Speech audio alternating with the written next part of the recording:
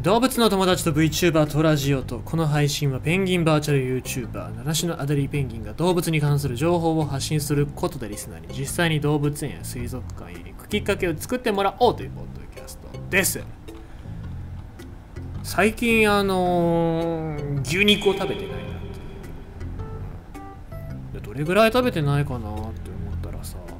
なんか記憶にないだけかもしんないけど多分2ヶ月ぐらい食べてないんだろうなと。まあ別にねその昔の生活の中に牛肉というものは入ってませんでしたしその分僕はほら豚肉食べてますから。ねえーと節約のためにはなんかお肉減らすのがいいんじゃないかって思ってるところもありますので豚肉よりも鶏肉まあみんなあの鶏肉食べようね。鶏肉をなんか美味しく食べれるようなそういう工夫ができたらもっとね、えーいいんじゃないかなと思います。まああのほら倹約ペンギンになっておりますから最近。えーだからなんか鶏肉のいいメニューをって思うんですけどまあ実家に帰ったらなんかそういうの関係なくなっちゃうのかなっていう感じもしますけどもね。まあでもなんか僕は家族全員で倹約ができりゃいいななんて思ってる次第なんですよ。なんかね鶏肉まあ豚肉っていうか僕ほら得意料理が豚汁とあとなんかほらいろいろありますから豚肉あ焼きビーフンとかね。なんかその辺ですからなんかそういうところで豚肉を使う機会が多いんですけども牛肉牛肉ってなんかさほらそのまんま炒めて僕はポン酢ぶっかけて食べるのが大好きなんですけど まあそういう食べ方、まあ、みんなみんなもそうかもしれないですけどね。なんか牛肉ってなきゃないでいいのかな。でもたまに食べたくなるなと思って、えー我慢してる。でもなんか今我慢してる自分もちょっと、うん、ちょっと好きだなっていう変な感覚なんですよね。たまなんか我慢するの好きなタイプなのでねいろんなこと例えばお酒も我慢したりもしますしなんかそういうタイプのペンギンなんだよな、うん、欲望にまみれた人間とやっぱそういうところ違うんだよな。ねえ。ー節約ペンギンというか節制ペンギンというか、ええ。でもあの我慢できなくなってこう昨日あのプロテイン買ってしまいましたけどもね、えープロテインぐらい続けていいんじゃないかなと思うわけですよ。甘いもの取らないですから。唯一唯一取る甘いものっていうのがプロテインなので、まあ、栄養補給っていうのもありますけどもね。なんかそういう生活をギリギリまでやってますよ、えー一人暮らしももうあと1ヶ月ぐらいですから、はい、しっかり楽しみたいと思います。そんな感じで、えー今日のニュース読んでいきたいと思いますが、えー愛媛です。水路から上がってきたのがカミツキガメ新居浜市で捕獲。同じ場所では昨年もペットの可能性。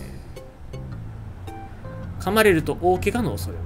新居浜市内の水路で4月2日危険な特定外来生物のカミツキガメが捕獲されました。この水路では昨年もカミツキガメは見つかっていました。長く伸びる太い首と鋭い歯。全長は50センチほど。重さは4.2キロもあります。特定外来生物に指定されている北米大陸原産のカミツキガメです。亀がいたのは新居浜市郷。これ里と書いて郷ですかね、えー、郷の水路で4月2日に近くで働く男性が見つけて捕獲しました。でこの捕獲した人深いところからちょうど上がってきたところなのでそんなに暴れたりしなくて多分冬眠した後かなという感じでした。愛媛県の生物多様性センターによりますとカミツキガメは繁殖力が強く強いんだ、え春の産卵期に陸に上がると攻撃的になりますと。じゃあ今の時期やばいですね。大型のカミツキガメに噛まれた場合は大怪我の恐れもあるということです。県立衛生環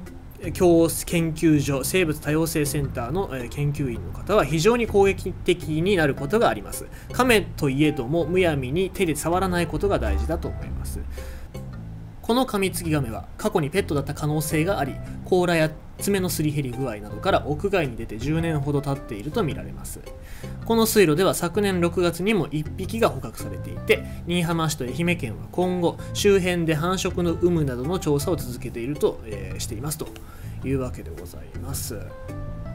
まあそもそもなんでカミツキガメを飼ってんだっていうところでもあるんですけどただねカミツキガメはガメラですね。ガメラの元ネタになった生き物ですのでそういう人たちがまあいうなんか憧れて飼育し始めちゃったのかなっていうのはありますよね、えー、だからま10年ぐらい前かっていうふうに、え思われるんですけども10年以上前でしょうね。10年以上前に飼育し始めて手に負えなくなったから逃がしたとかそういうところだと思いますけどもやっぱりその